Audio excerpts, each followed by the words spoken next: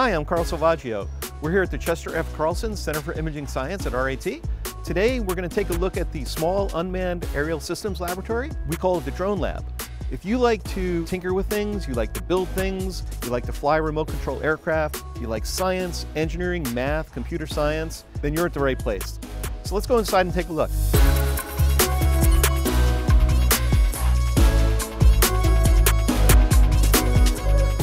Is one of a dozen different workspaces here in the Center for Imaging Science. In here, our students build the imaging systems that go onto our drones. These imaging systems collect video footage and aerial images in ways that you've never seen before. We use these imaging systems to collect data that we use in precision agriculture, in climate change studies, and even for national defense. So how do we do that?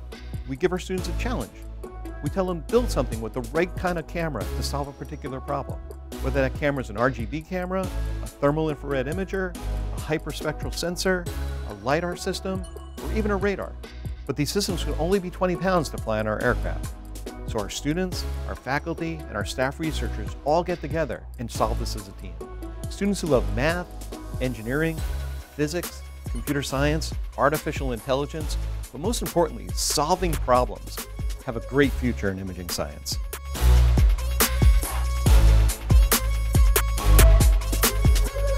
When imaging science students leave here, they go out, they get great jobs with great companies and great starting salaries. We'd love you to be a part of that. So why don't you come to RIT, ask for the imaging science program in the College of Science, and we'd love to show you around.